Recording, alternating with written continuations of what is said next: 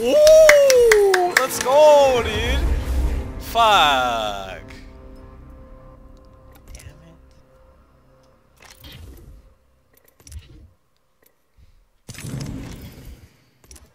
Get ready for a world of hurt.